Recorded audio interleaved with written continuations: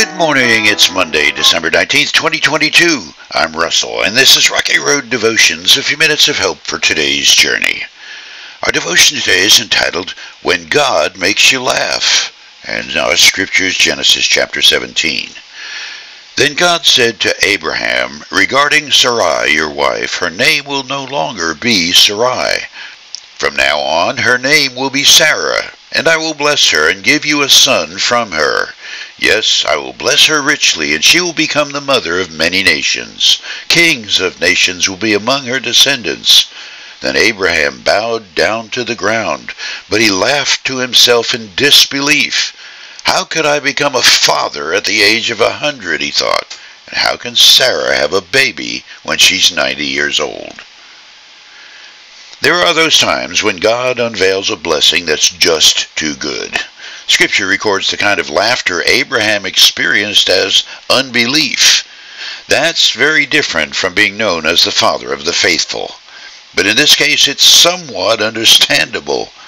Abraham's heart had hungered so long for the reality of the promise God had made to him, yet he and Sarai had never been parents together.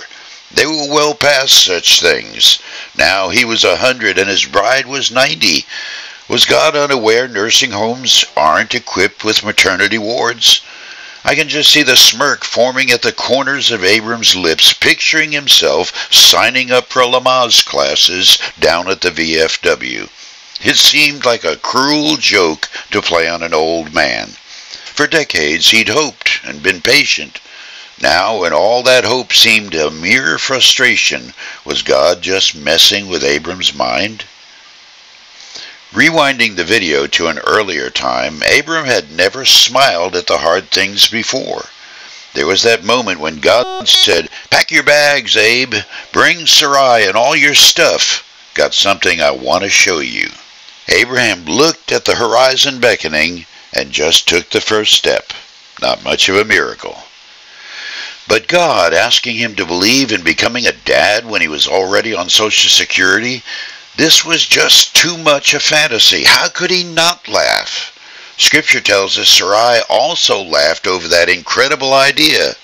But nine months later, there was a cradle in their bedroom, and the fulfillment of God's word meant diapers and a whole new way of thinking about this life of faith to which God had called them.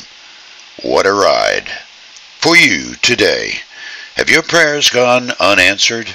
Are there some things you've hoped for that no other person on earth knows about, but have been almost daily in your prayers? Does it seem too good to be true that God might be telling you to hang in with Him a little bit longer because His promises are certain? And what if it happened? What would it be like to have God make you laugh today? You chew on that as you hit the rocky road. Have a blessed day.